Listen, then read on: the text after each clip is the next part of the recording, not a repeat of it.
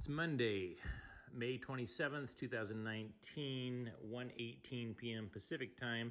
McKenna Denson just sent me a message, asked me if I'm free to chat for a quick sec. I said, "You bet. Give me a call." McKenna Denson. There you go. She's calling me right now, like clockwork. Yellow. Hey, I won't I won't keep you long. I know you're busy. So I talked to my therapist this morning and she said it's very likely that I had a, a fake cancer fundraiser and I asked her why I don't remember it. And she's not sure. She said maybe it's a DID episode because there were doesn't matter. Or maybe it's something I, w- I did and I am so embarrassed and ashamed of that I've blocked it out. she said, We're going to work on figuring it out. Um, but either way, I need to own it, um, whether it was DID, um, where I was an alter, actually, um, or if it's something that I actually did. So we're going to get to the bottom of that, and I'm going to own it no matter what the reason is, or however you want to look at that. If I did that, I need to figure out why I did that and why I don't remember. Were you But have, have you been diagnosed with DID? Um, I have been, yes. Who was, Uh, who was the doctor? Who was the doctor that diagnosed you, and how long ago was it? Well, hang on a second. At first, I was diagnosed with borderline personality disorder. Who was the doctor that diagnosed that? Um, Wilborn. Do you know where where that was? Yeah, it's in Colorado Springs. So Colorado Springs, Dr. Wilborn uh, diagnosed you with multiple personality disorder. No, he diagnosed me with borderline personality oh, Okay. disorder Okay. because DID is harder to diagnose. But the person I'm working with now is working with me understanding some other things that have to do with with DID, which I didn't know I had until a few months ago. So, but here's the thing: it does not matter, Mike, whether it's something I feel so ashamed of that I hid to myself and blocked out, or whether it was DID episode. It doesn't matter. If I did that, it doesn't matter what the consequences are. I have to own that, and I just need to understand why I don't remember that. So either way, I'm gonna.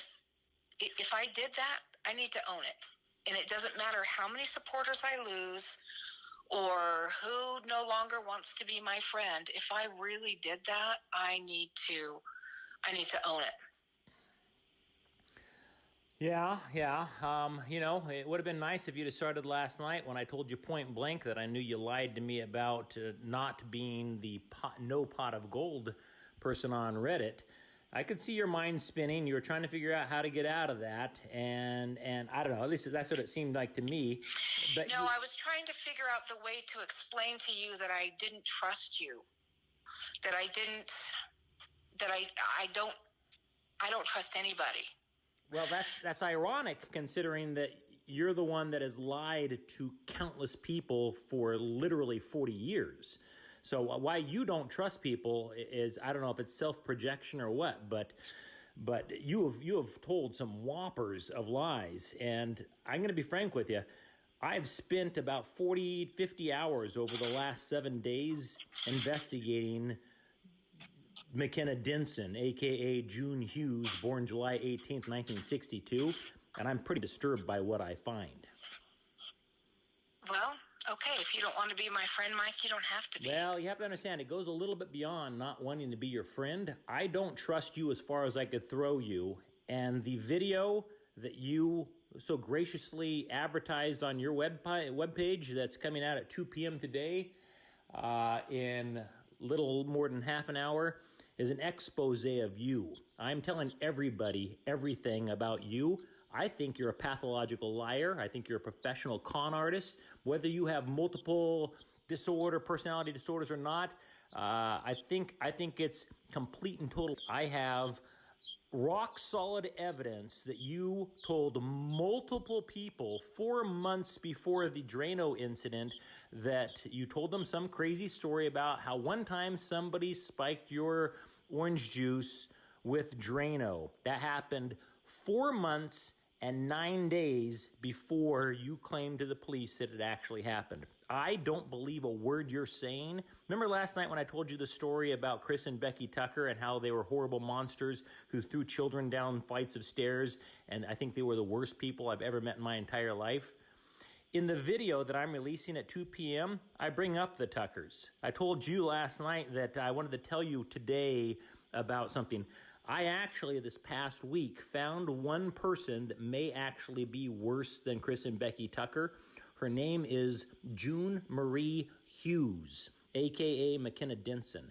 I think you are a monster, and I am going to expose you to everybody for the monster you are. And by the time I'm done, you will be lucky if your own attorney is still on your side. You are so completely and honestly, if you're standing here in front of me, let me tell you, I've never hit a woman in my life, but I would break your nose. You are a worthless McKenna. You faked cancer multiple times and took money from people to help you pay for your cancer. Do you think those people are going to be less likely to donate money to people in the future that have cancer? I think so. You are literally taking money out of the pockets of children with cancer. You have accused at least five men of raping you. One of those poor sat in jail for months and faced prosecution, and thank he was found not guilty. You are a monster. I can't wait to see you go down in a ball of flames. Your book will never happen. Your movie will never happen. Your lawsuit against against Joseph Bishop, FYI, newsflash for you, you I've been cooperating with David Jordan. I've recorded every single conversation you and I have had for weeks, and I'm going to burn you at the stake. You hear me? You're done, McKenna. Done. Somebody said to me, What are you going to do if she commits suicide? Big deal. One less horrible monster on the face of the earth. Do what you got to do, McKenna, but I'm going to burn you to the ground. Got anything okay. to say about that? Go ahead. No. By the way, this call is being recorded as well, and this will probably go on YouTube. You got anything to say, monster? I have nothing to say, Mike. I'm sorry. You feel that way. Oh, it's not that I feel that way. Rock solid evidence proves that I'm that I'm right. The police came to the same conclusion. You are a monster. You swallowed razor blades while you were pregnant 12 weeks pregnant just in an effort to get money out of PF Chang's. You drank Drano in an effort to get sympathy. You torched your own car. You are a lying, pathological, in my opinion. I want nothing to do with you ever. And let me tell you something. You know where I live. Show up at my house and you get a bullet between your head, your eyes. I will assume that if you show up at my house, you are here to cause trouble. Nobody in their right mind. What, McKenna? Go ahead. Give me your excuses. Go ahead. Let me hear it. You're not going to con your way out of this one, McKenna. Go ahead. Uh, I have nothing to say. Good. You shouldn't say anything other than uh, I, I uh, choose to plead the fifth. Officer, FYI, I've talked to the Pueblo Police Department and given them all this information. David Jordan has all this information. Good luck with your lawsuit, McKenna, because I will be there to testify against you if I need to be. You are the worst human being I have ever met. And I have met people who have thrown toddlers down flights of stairs. Anything else you want to say to me? Because this is the last time you and I are ever going to talk. No. Uh, until, until I see you in court, by the way. And trust me, I got a real good feeling you and I are going to meet again. Anything else you want to say? Nope.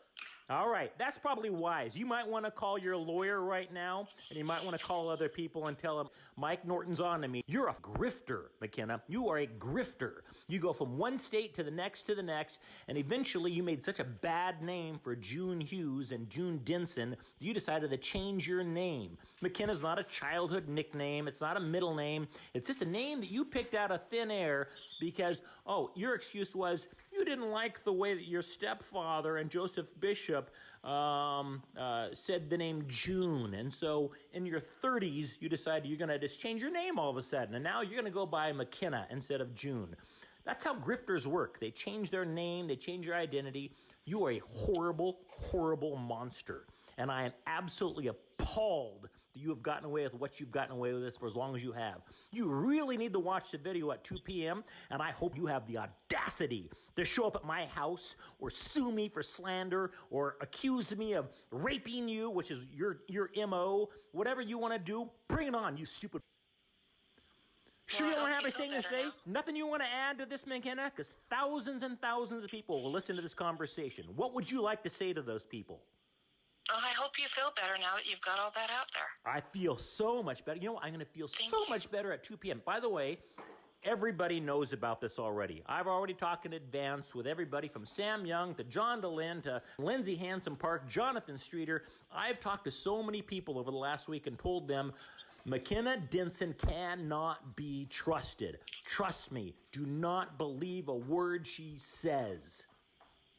And every single one of them, after I presented the evidence to them, realized I suspected it for a while. You know what your mistake was, McKenna? Here's the big mistake you made making the absolutely ridiculous accusations that somebody came into your house, laced your orange juice with Drano, then three days later they torched your car, then seven days later there was a conspiracy because two men were there and they assaulted you.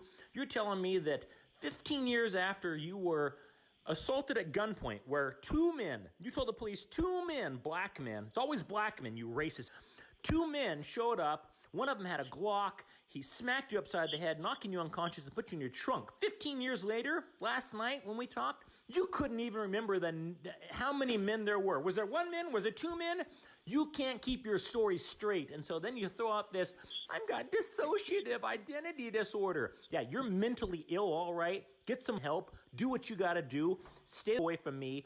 Your, your, your little money pod train here with the ex Mormon community is done at 2 p.m. today. Nobody in their right mind would give you money after this. As far as Ethan is concerned, I think Ethan's just got a the case of sour grapes. I don't think he has. Ethan's got on you. He's got you lying to a clerk to get your car out of impound. Big deal. Who cares? Who wouldn't do that? What I have and what the police have on you so much bigger than that. Anybody who fakes having cancer and raises money so that they can pay for their non existent cancer treatment, and then when they supposedly find out they don't have cancer, that they don't bother telling their friends and family members that they don't have cancer because they like, as you told one person in writing, they like the love and attention that they were getting, so they didn't want it to end. What kind of a monster tells friends and families, I have cancer, and then when she finds out she doesn't, which by the way, I don't believe any of that. I don't think you had cancer. I don't think, I think it's all fiction. And if you actually were stupid enough to sign an authorization to release information to me so that I could get copies of all your medical records, I would prove that beyond any reasonable doubt. The chances of you being, I've talked to doctors about this, the chances of you being diagnosed with the kind of rare bone cancer that you suggested is so astronomical. That's like a doctor telling you that you have AIDS. Oh, oh, I'm sorry. Did I say AIDS? I, I meant, I meant herpes. My bad. I'm. Did I say AIDS? Yeah, that was a, that was a, that was a typo. You are so, you are a monster, a monster. There are children actually have cancer, who are trying to raise money desperately to save their lives, and there's you out there faking cancer and collecting money. I seriously, I hope you, again, tens of thousands of people will listen to this recording. Anything you want to say to them, you want to take ownership, start apologizing right now. I'm good. No, no, you don't want to apologize to everybody you lied to. You don't want to apologize to the five men that you accused of rape. David, you don't want to apologize to David, who was prosecuted and acquitted of rape. No, he needed to be prosecuted. Oh, did he? You need to be prosecuted, June. I am your worst nightmare. Count on it. Goodbye. Don't ever talk to me again. I'll see you in court. Oh, that felt good.